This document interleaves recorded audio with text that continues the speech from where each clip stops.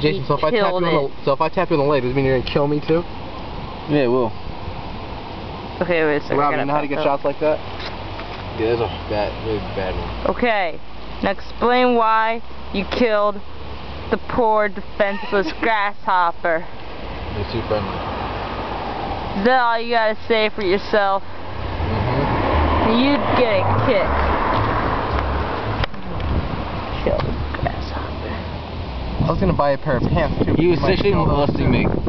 He oh, wasn't he's doing got some life anything. him. Now Got look at some him, life in him. struggling to stay alive after you on, killed him and broke his legs. That's so mean. Hey, that car just ran over a popper.